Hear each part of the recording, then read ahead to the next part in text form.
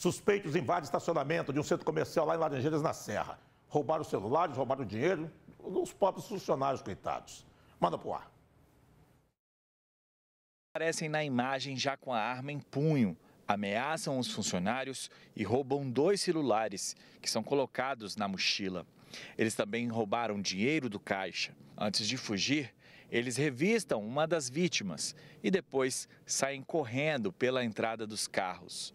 Esse estacionamento fica em um centro comercial, um shopping bastante conhecido aqui na região de Laranjeiras. Fica perto do terminal de Laranjeiras, da Avenida Central, um local de bastante movimento. O que chama a atenção nesse caso é o horário.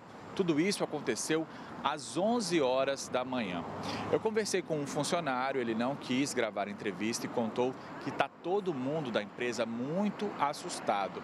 Os dois funcionários que estavam nesse local no momento e que foram as vítimas estão também bastante assustados com toda essa violência. E ele disse que aqui na região há bastante insegurança. Por quê? Vou pedir para o Felipe mostrar para a gente. Ali ó, tem um estacionamento, um local vago, mas que nessa região há grande circulação de pessoas em situação de rua e também de criminosos. E eles trabalham aqui com esse sentimento de medo. A Polícia Militar informou que foi acionada e esteve no local que até agora não houve detidos. A empresa responsável pelo estacionamento fez um boletim de ocorrência.